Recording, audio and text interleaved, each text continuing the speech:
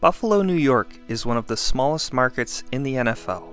The city's population doesn't even crack the top 50 in the United States, and its metro and combined statistical area barely crack the top 50.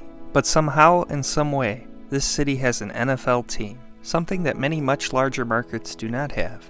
So, why is this, and how does it work? This is why the Buffalo Bills exist.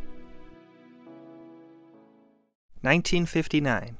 The American Football League would begin to be established, and it was decided that Buffalo, New York would play host to one of the first eight teams of this league.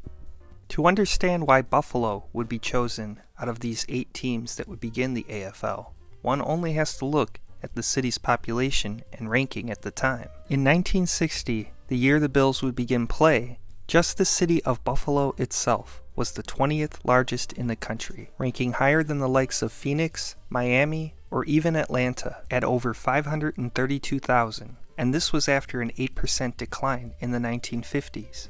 On top of this, nearby Niagara Falls, New York would be reaching its population peak at just over 100,000 people. The not too distant city of Rochester, New York also had over 318,000 people at this point in time.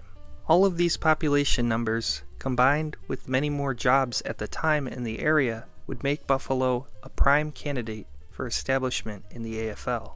And established they would be, and they would play their entire tenure in the AFL at War Memorial Stadium in Buffalo. However, after the AFL NFL merger of 1970, the Bills from that point forward would be an NFL team.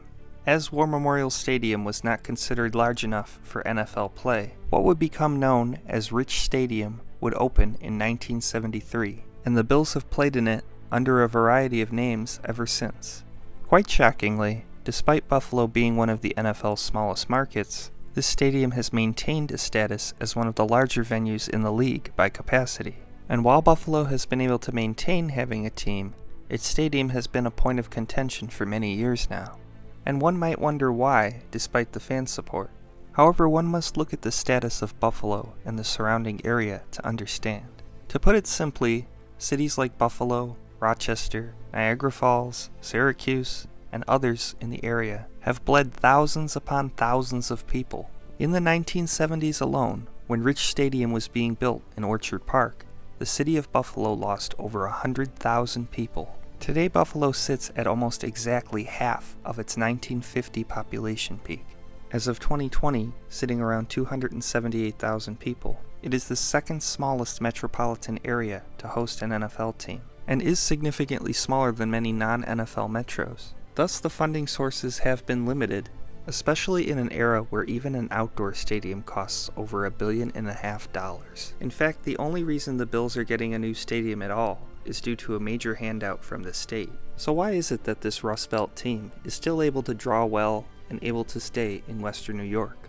Well, the most important thing to look at is the regionalization of NFL teams. Despite Buffalo itself, and even its metro being relatively small by population standards, the region that the team covers covers multiple highly populated cities, with the Buffalo and Rochester markets having over a million people each, and Syracuse having over 700,000.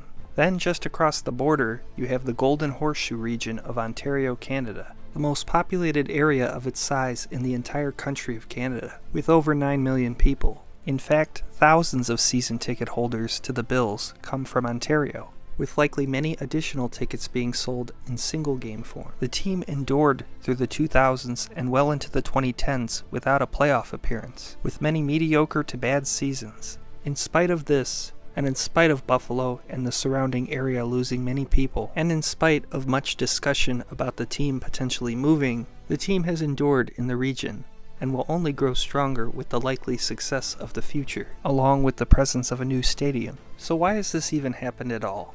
Well, Buffalo made a whole lot of sense in 1959 when the AFL teams were being established.